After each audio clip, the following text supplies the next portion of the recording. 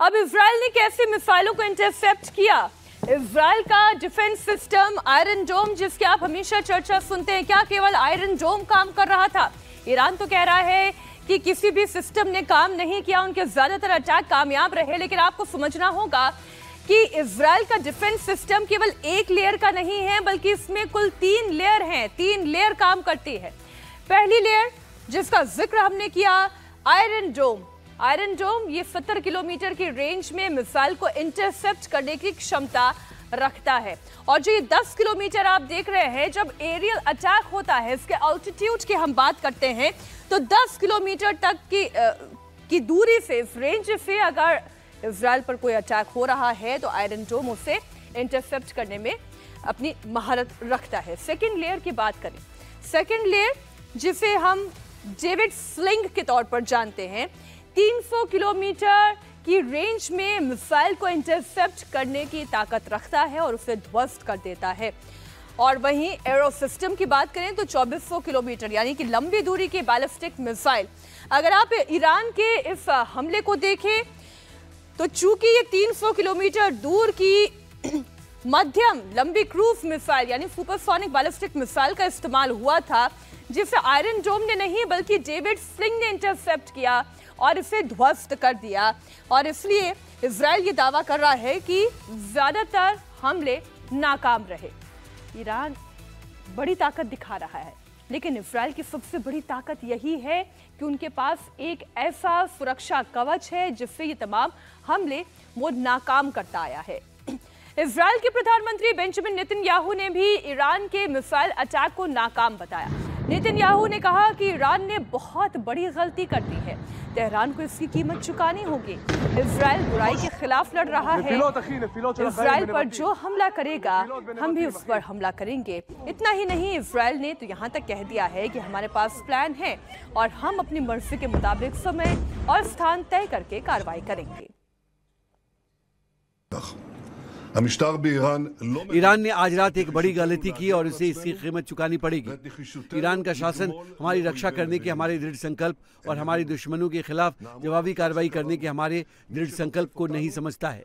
हम अपने द्वारा स्थापित नियम पर कायम रहेंगे। जो कोई भी हम पर हमला करेगा हम उन पर हमला करेंगे। ये सच है हम बुराई की जड़ से लड़ते हैं। ये यहूदिया और सामरिया के लिए सच है ये गाजा लेबनान यमन सीरिया के लिए सच है और ये ईरान के लिए भी सच है। हम हर जगह बुराई की जड़ से लड़ते हैं उधर अमेरिका ने भी ये क्लियर कर दिया है कि किसी भी कंडीशन में वो इसराइल के साथ खड़ा है अमेरिका ने ईरान के इस कदम की निंदा की और कहा कि वो इसराइल की रक्षा के लिए कमिटेड है Iran, for the second time in the space of five months, launched a direct attack on Israel, including some 200 ballistic missiles. This is totally unacceptable. And the entire world should condemn it. Uh, initial reports suggest that Israel, with the active support of the United States and other partners, effectively defeated this attack. Uh, we demonstrated once again our commitment to Israel's defense. Uh, we'll remain in very close touch with Israel and other partners in the region उधर पलटवार की आशंका को देखते हुए Iran ने अपने सभी एयर स्पेस को बंद कर दिया है ईरान के फाइटर जेट लगातार हवा में पेट्रोलिंग कर रहे हैं ईरान ने कहा है कि उसने ये हमला सेल्फ डिफेंस में किया था और अब अगर इसराइल की तरफ से कोई एग्रेशन या जवाबी कार्रवाई होगी तो इसके खतरनाक अटैक को वो अंजाम देगा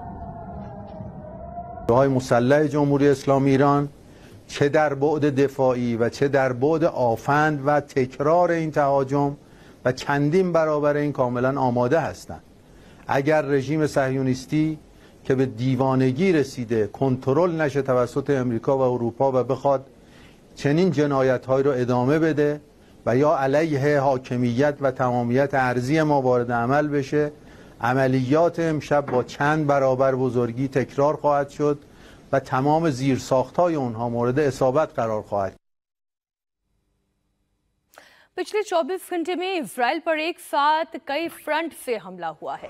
ईरान ने जहाँ मिसाइल दागी लेबनान में हिजबुल्ला भी इसराइली फौज पर अटैक कर रहा है, तेल अवीव में, जाफा में आतंकी हमला हुआ। इसराइल की राजधानी तेल अवीव के पास जाफा में आतंकियों ने अंधाधुंध फायरिंग की, जिसमें आठ लोगों की मौत हो गई।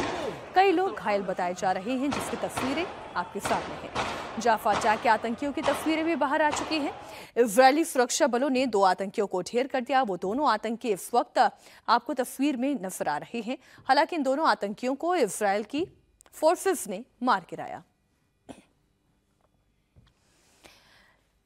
ईरान लगातार इस कोशिश में है कि अपने air defence system air system के ज़रिए, यानी कि हवाई हमलों के ज़रिए वो इसराइल को नुकसान पहुँचाए। लेकिन ईरान भी ये जानता है कि इसराइल का डिफेंस सिस्टम बहुत ही मज़बूत है और इसलिए वो आतंकी भेजकर भी इसराइलियों पर अटैक करवा रहा है। इसी कड़ी में ये दो आतंकी जाफा में, जिन्होंने सिविलियंस को निशाना बनाया, हालाँकि दोनों ही आतंकी ढेर कर दिए गए हैं।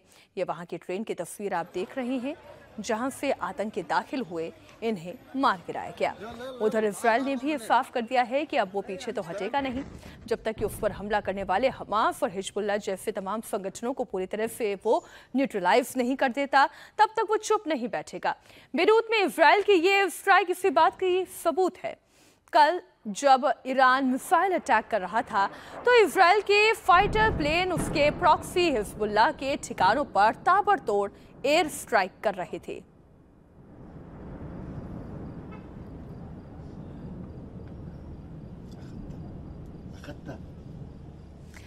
लेबनान में हिजबुल्ला के ठिकानों पर इजरायली एयरफोर्स ने जमकर बम बरसाए। आईडीएफ के हमले में हिजबुल्ला के कई ठिकाने पूरी तरह से तबाह हो गए हैं। ये देखिए तस्वीरें।